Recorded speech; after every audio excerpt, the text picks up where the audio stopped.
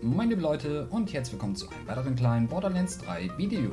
Und zwar geht es heute um eine neue Community Challenge in Borderlands 3, in der die Community einen weiteren Kammerjägerkopf für die gesamte Community freispielen kann. Vor einigen Wochen bekamen wir in Borderlands 3 einige Community Challenges, mit denen wir uns weitere Cosmetics in Spiele spielen konnten. Während diese Challenges von unserem Saurianer-Freund Maurice ins Leben gerufen wurden, bekommen wir nun eine nicht weniger herausfordernde Challenge von keinem geringeren als Mr. Talk geliefert. Mr. Talk stellt der Borderlands Community nun die Aufgabe, insgesamt 50.000 Gemetzelrunden zu überstehen und damit damit den neuen Dämon Kammerjägerkopf freizuspielen. Um bei dieser Aufgabe mitzuhelfen und gemeinsam mit anderen Kammerjägern an der Freischaltung des Kopfs zu arbeiten, müsst ihr keine besonderen Dinge tun, bis auf einen ganzen Berg an Gegnern im Spiel umzulegen. Dabei ist es völlig egal, ob ihr erst seit kurzem mit eurem Kammerjäger im Spiel unterwegs seid oder ob ihr ausgebildete Borderlands 3 Veteranen seid. Um insgesamt 50.000 Runden zu absolvieren, brauchen wir jeden einzelnen Kammerjäger da draußen, der eine Waffe halten kann.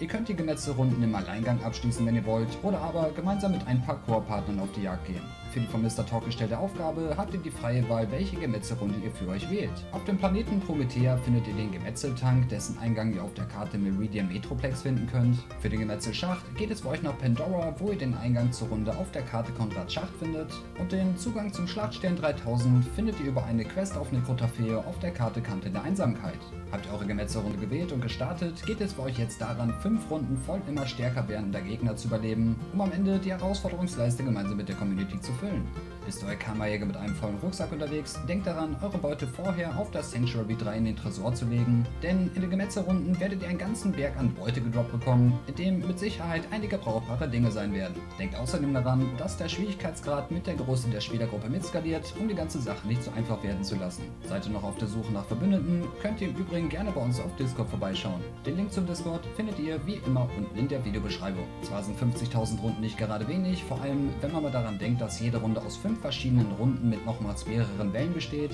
aber ich denke, dass wir die Aufgabe schaffen werden und der Kopf bald uns gehört. Sobald die 50.000 erreicht wurden, erhalten wir einen neuen Shift-Code, mit dem man den neuen Dämonenkammerjägerkopf freischaltet. Shift-Codes können entweder auf borderlands.com, auf der Gearbox Shift-Seite oder aber über das Social-Menü im Spiel eingelöst werden.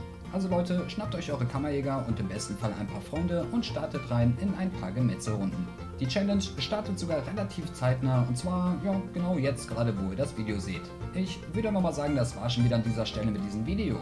Wenn es euch gefallen hat, hinterlasst mir gerne einen Kommentar, einen Daumen nach oben oder vielleicht sogar ein Abo, um keine weiteren Videos rund um Borderlands und Borderlands zu verpassen. Und damit sehen wir uns dann im nächsten Video. Haut rein!